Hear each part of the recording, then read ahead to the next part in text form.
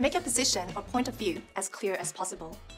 Writing task 2 looks at your ability to express your opinion clearly in English, not your knowledge of the topic.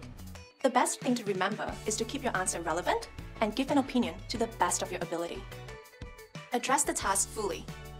You have to answer all parts of the question to show your understanding of the written instructions. Take a look at this.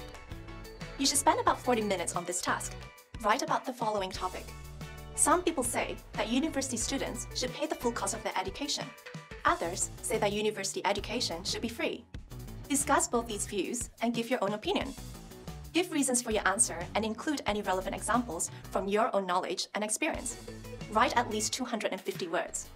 Here we can see three things.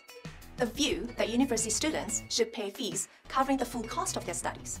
The view that university students should study for free. And your own personal opinion. In this situation, you must write about all three tasks stated in this question.